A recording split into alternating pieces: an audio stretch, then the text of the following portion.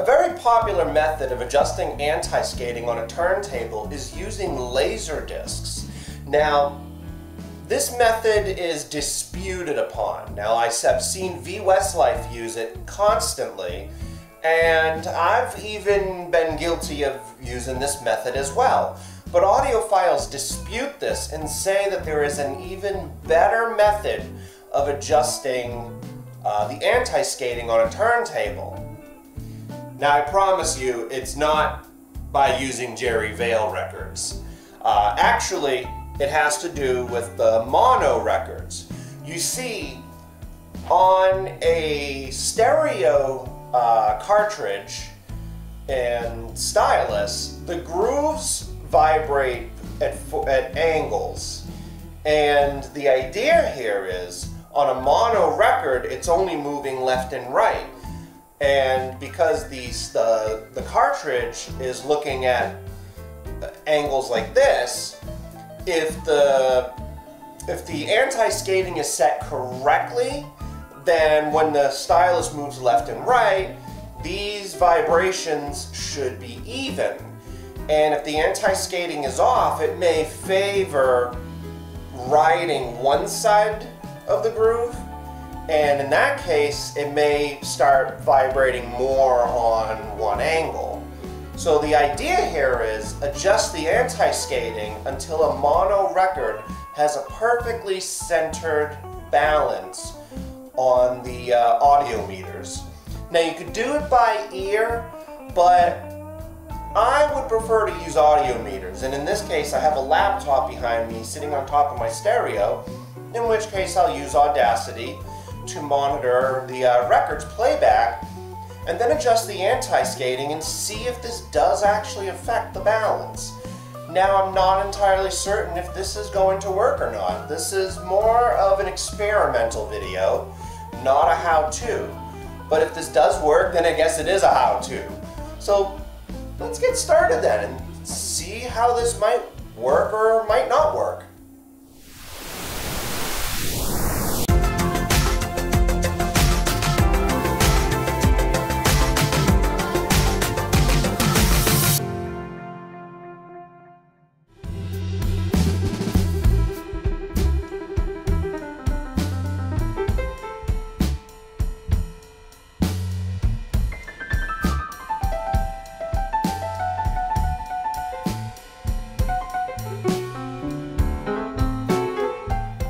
First thing I'm going to do now that the laptop is plugged in is I'm going to hit record on Audacity and just make sure that it's actually getting something.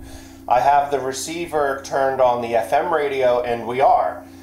So we can go ahead and get started and now play this record and see if we can get the uh, anti-skating dialed in using nothing but the audio meters up here. I think this might be a little interesting. I really don't know how this is going to work. So let me go ahead and just hit stop on that, uh, turn it over to phono. Actually, you know what? I can leave it on. There's no reason to have it off. And if I tap the cartridge on my turntable, you can see the meters move. So we know it's alive and ready to go. So let's go ahead and put this uh, record on the turntable and see what effect we get.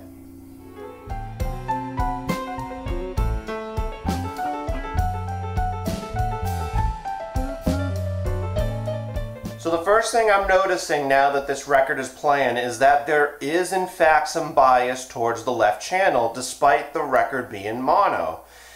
Now there are a couple of bounces on the right side and that could just be dust. So let's adjust the uh, anti-skate on the turntable and see if this does actually affect the balance at all.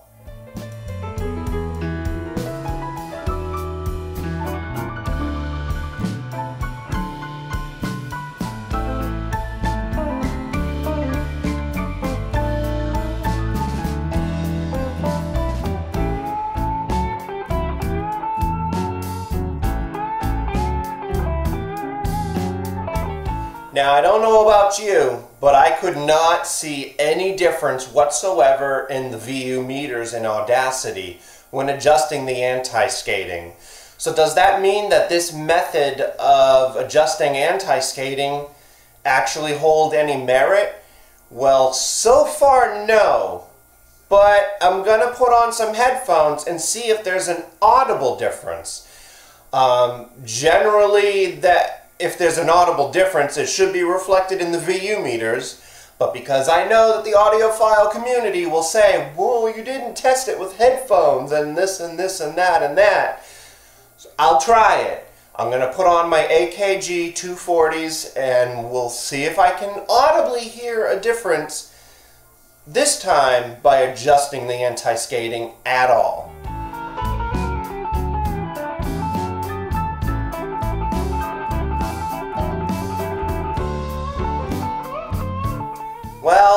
Gave it a shot. I even tried headphones and could not hear in any difference whatsoever as to whether it was making any effect in the balance of the audio.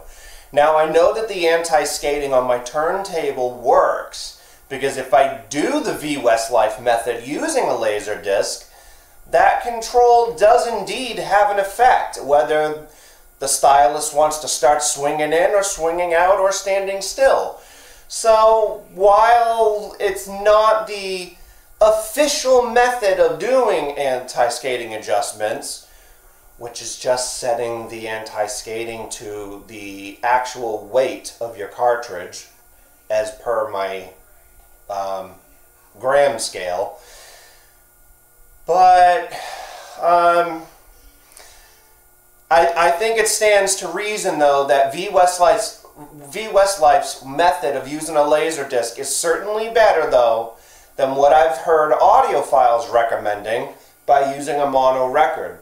I tried VU meters. I tried wearing headphones. I could not hear or even see a difference. So I don't think that method is quite as valid as compared to his method, or just simply setting it the way you're supposed to as long as your turntable is not damaged and the controls are way out of whack, which is just setting the anti-skating to the actual weight of your uh, tracking force. Anyway, YouTube, have a good one. I hope this video kind of touches on um, this subject. I'm pretty certain there'll be some comments. I am expecting some comments. However, um, I, personally think the Laserdisc method might actually be better than this method because at least you can see the difference actually taking effect. And I will say this though, um, I don't think you really want the stylus to actually be still because if you think about it, the grooves on your record are not standing still. You want it to have a very slow and occasional movement inward.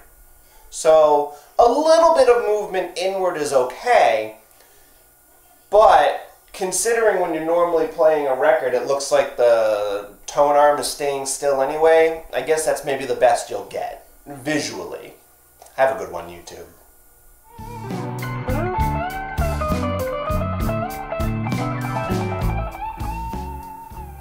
Oh, are you kidding me? You decide to do updates now?